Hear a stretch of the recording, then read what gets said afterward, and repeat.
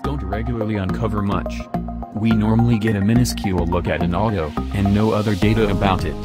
Volvo has switched things up a bit with its most recent XC40 mystery, however.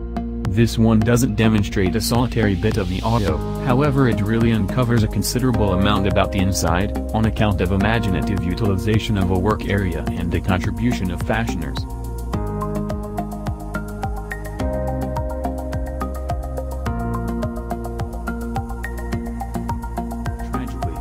The XC40's uncover still far out, we don't really get the chance to perceive any of the genuine inside.